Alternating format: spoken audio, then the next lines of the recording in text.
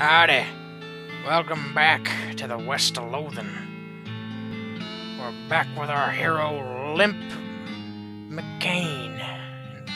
And I think it'd be a good time to go search some caves, starting with the nearest one, Humming Cave. I don't have any safe cracking, so I can't do anything there. Humming Cave. Oh, this is what the nun was talking about. Oh! That was easy. Huh. These rocks are weirdly organized. Oh, I love listening to this.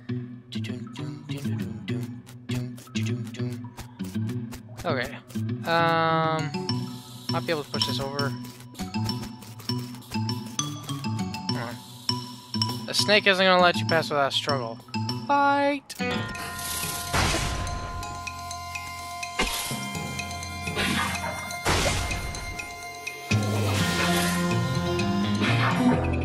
Was easy. Snake venom bladder and electric snake skin. Wow, what is that thing?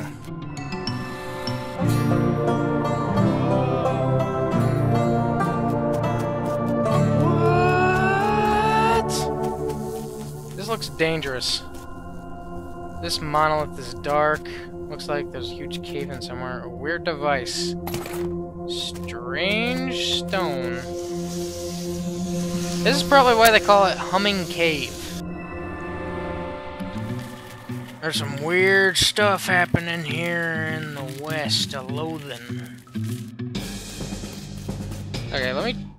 Is there a snake back there? Okay, let me try. Oh, okay, yeah, that's literally what I thought it was. Just a, just a way to get out of fighting. No, I need the EXP. Okay, that takes care of Humming Cave. Actually, um, let's go turn in that favor for the nurse. Uh, the strange stone around you starts going crazy, beeping and booping, whirling around of its own accord, practically drags you in the direction of Professor's house. i I'll go there later. Uh, here you go. Welcome back. Were you able to find the Humming Cave and the purple grass? Yeah, here you go. Thank you very much. Blessings upon you. Can I buy medical supplies? Okay, yeah. Store for healing stuff. Alright, next mine. Gold Ridge Mine. Before you can react to the sudden howling, a ghost train surges over the hill, roars past you. Just missed three skeleton train robbers. Arrived just passing this morning. Uh, let's try it.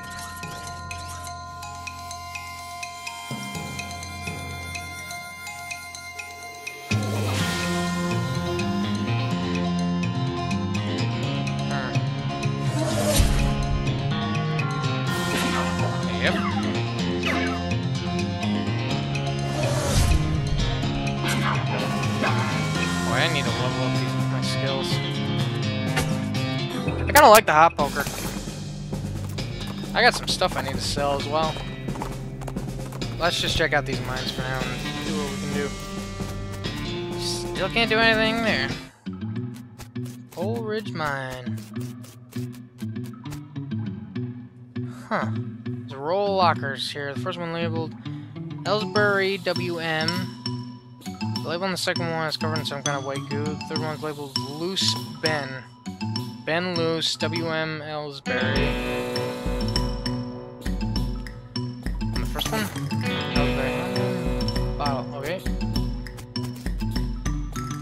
Second locker. Skeleton covered in the same white goo found on the outside. Ah, you get it. This guy must have died after his coworker played a prank on him. They stuffed him in the locker and they filled it with shaving cream. I can't believe the dang jerk stuffed filled it with shaving cream. I died from that. Y'all, this. Yeah, I'm gonna have to fight this guy.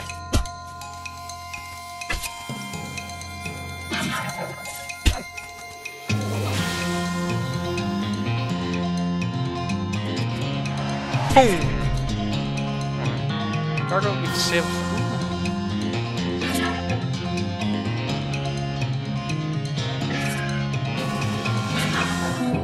There we go.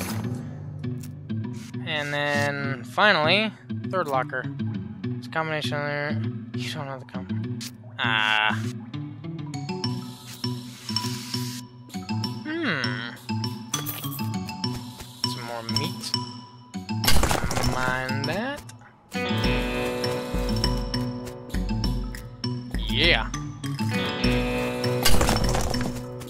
This is why it's. You get pickaxe. These stones have little triangles painted on them. They're in a triangle. Very, it's very triangle. That's gotta be important for something.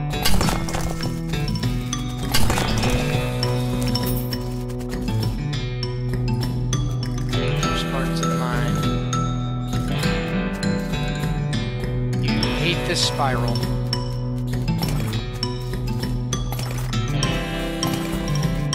The spiral makes you uncomfortable.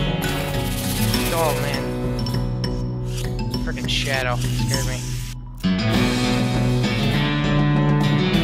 Yeah.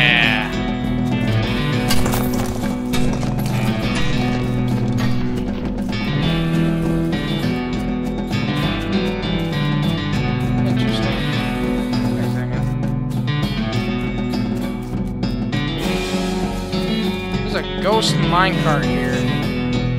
I can't do anything about it.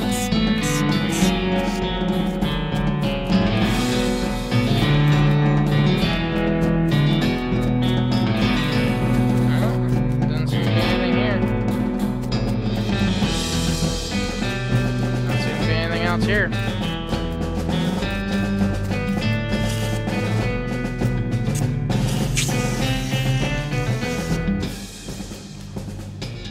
Guess that takes it for th this mine for now. Last one, Snake Pit Mine.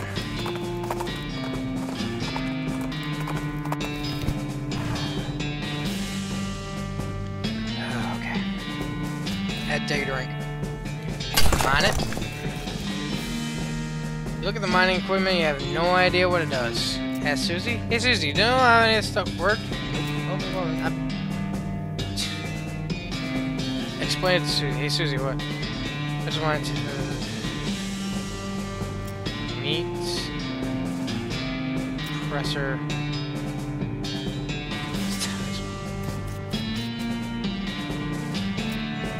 Ah, I bet Pete would know what these are. Oh well. Different playthrough, maybe. If I get enough support. Ooh, you can see a snake coiled up in the little... Pull it out and punch it. Big old snake. There's a dead old snake.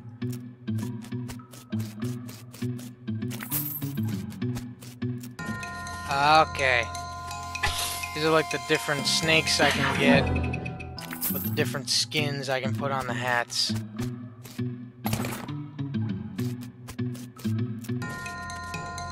Oh, that's not good.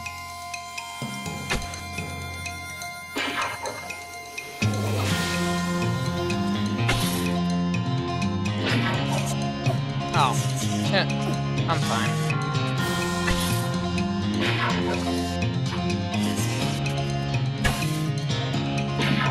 Yep. Got another pickaxe. Guess that's probably why they call it Snake Pit Mine.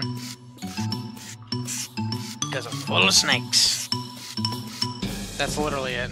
Wow.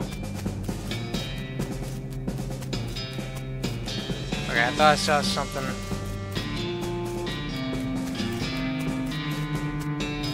Well, I guess that kind of does it for this episode of the West of Loathing. Kind of a short one, I guess. Uh, let's wander around. A little, let's wander around a little bit. Maybe we'll find another mine. Yeah, Shaggy Dog Cave. I guess. I guess that'll work.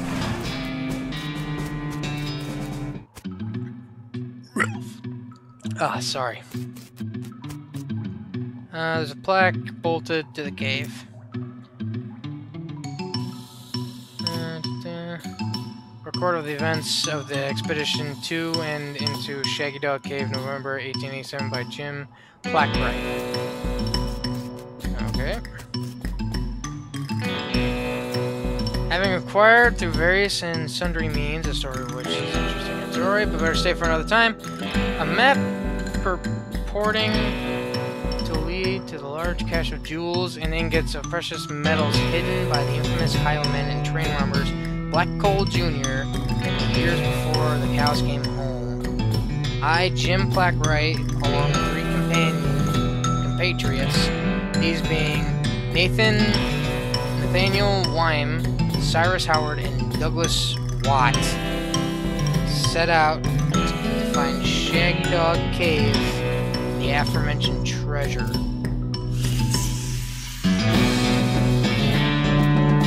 Our equipment and provisions consist of one car and a horse to pull it, four additional horses to be ridden, two shovels, a spade, and a mining pick, a large coiled rope, one large basket of eggs, as well as an assortment of other trail provisions and cookware, many own collections of blank plaques and engraving tools, one large and one shaggy dog, and a butt four.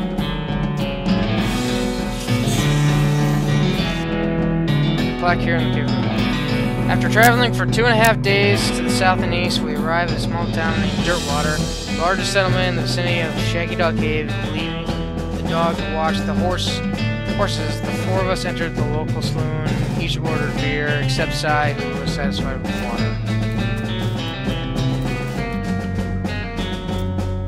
The Barman provided our drinks as requested and then withdrew a small wooden box from underneath the bar asking us if we cared to witness something real interesting.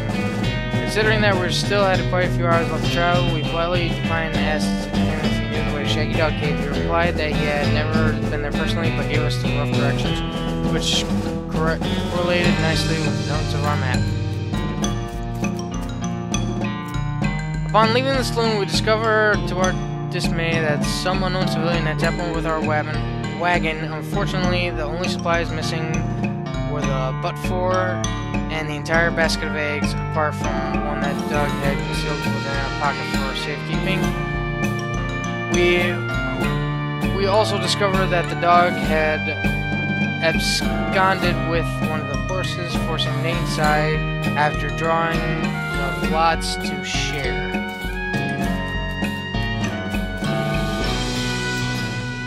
After acquiring a barrel of fresh water for the trip, as well as replacement butt four, we headed out to the open desert. The sun shone down mercilessly upon us, though we took a small solace in the fact that we would have been much far more intolerable, if we had made this expedition during the summer months rather than November. In order to pass the time on the trip and resist becoming dazed from the heat and susceptible Desert Mirage we exchange stories of youth, which I will not be retelling for reasons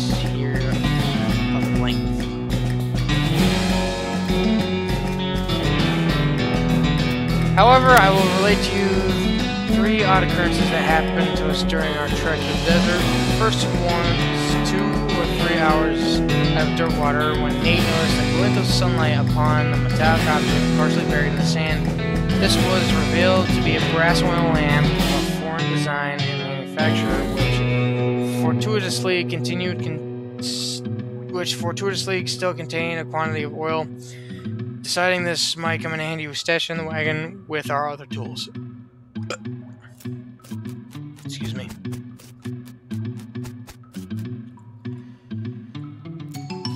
Our next encounter was with a nomadic goblin tribes, who we discovered spoke excellent English it inquired as to our destination, and we replied that we're looking for Shaggy Dog Cave, though we did not disclose the reason for our journey. The goblin confirmed that we were heading the correct course and mentioned that he had a short time earlier witnessed a large and shaggy dog riding a horse in the same direction. We all agreed that this was an unusual sight indeed and continue on our way.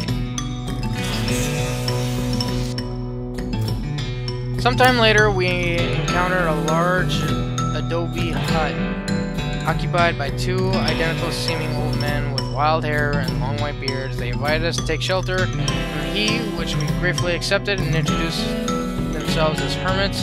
This struck me as particular given that there were two of them, but I felt it would be rude to question them at that point.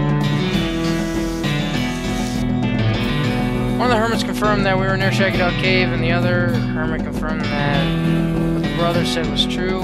They also commented that had seen a large and shaggy dog riding a horse in that direction. We all agreed that this was an unusual sight indeed. The hermits refreshed our water supply in exchange for a fort, and we continue our way excited to finally near our goal.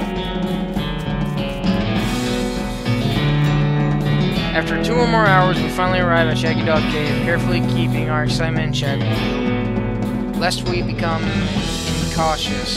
We unloaded our equipment and supplies from the wagon, took a brief respite, in the cool shade of the cave entrance to celebrate our arrival, Doug unpocketed and shared the egg he had saved from our basket that filled with their water. Once we were we were rested, we decided the time had come to explore the cave. Discovering that we had neglected to pack a torch, lanterns, or any other light source cave, declared that it was indeed fortuitous that Nate had discovered an antique old lamp during our travel. He gave the brass a quick shine and then lit the wick, and then we were relieved to discover that it lit easily and provided an adequate amount of light. As we headed into the cave, we were further encouraged by the fact that the floor was quite even and easy to traverse. There were no side passages which might cause us to become lost. Despite this, I resolved to hang a number of plaques to make our progress through the cave and engrave them with the tale of our journey, such that otherwise who discover the cave after us might be entertained and edified by our story. Soon we came to the end of the tunnel. While Nate, Cy, and Doug took turns with the excavation, I completed the last of the aforementioned plaques. This was a matter of perhaps an hour before Cy's shovels struck a wooden surface. The hollow noise we hauled a traditionally styled treasure chest out of the hole with great excitement.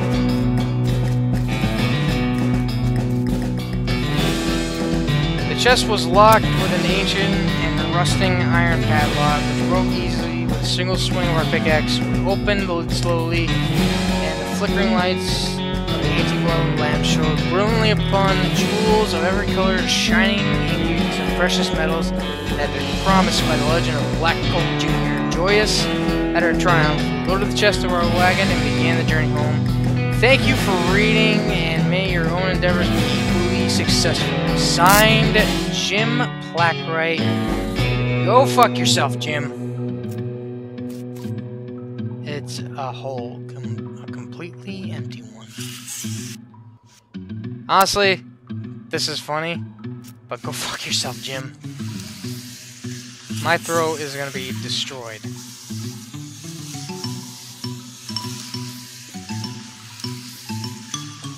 Oh, what about the large shaggy dog riding a horse?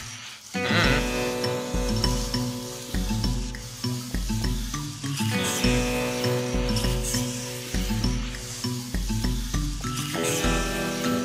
This game is great. I genuinely love this. And I hope you all did too.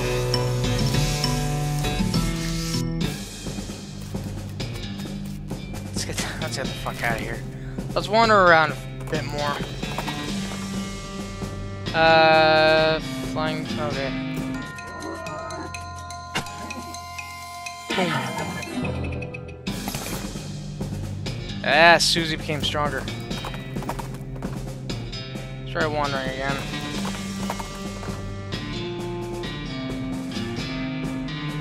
At the side of a trail, you see a small hell cow, a hell calf. Really, it snorts at a patch of brush, lighting on fire, and then starting, started grazing. Ugh, kill it! Jeez, calm down, Susie. It's only a little one. Kill it before it gets bigger. Punch it in the now to establish superiority. No, fight it. I want EXP. Boom. Pow. Yeah! Uh, let's do it three. Let's wander three more times, and I'll call it a video. Uh, a few hundred yards up the trail, you see a solitary skeleton trudging towards the northwest. Okay, let's put this guy out of his misery.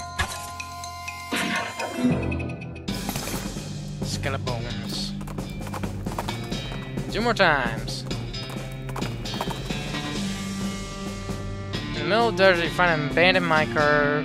It's sitting in the section of minecart tracks about 12 feet long, which start nowhere in particular and end less somewhere in particular.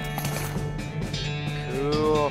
It's mostly full of old rocks, not even interesting looking. However, there was unrefined meat nuggets, which I can sell. Find a pair of binoculars hanging on a passing cactus. I mean, cactus, you're passing, not a cactus that's passing you. It's only looking like it's passing you because of your frame of reference. Hey! Okay. Last time we're wandering, and then I'll probably head back to Dirtwater. Uh, they say never judge book by its cover when it, you see someone wearing dark cultist robes. It seems pretty safe to bet that there's some sort of cultist. Clue is the fact that he or trying to teach Skeleton how to tap dance. At least that's what it looks like.